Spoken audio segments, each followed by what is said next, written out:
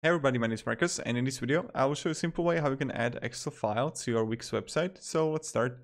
The first thing you want to do is just be here in here Wix and then just click here plus on add and then just like click button. Then you're gonna have like documents here and then you're gonna see this Excel file. So you can choose between this one, Excel, Excel or Excel, it's up to you. And when you're gonna do it, just upload it and then you need to upload the media here for your computer or whatever, right?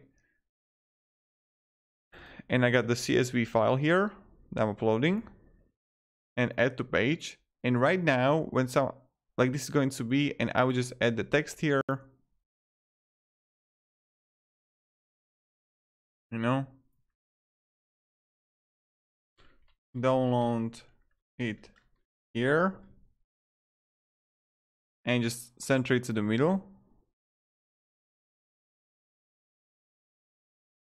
I would preview the website and then someone would click and voila, here we have the CSV file that is going to be downloaded.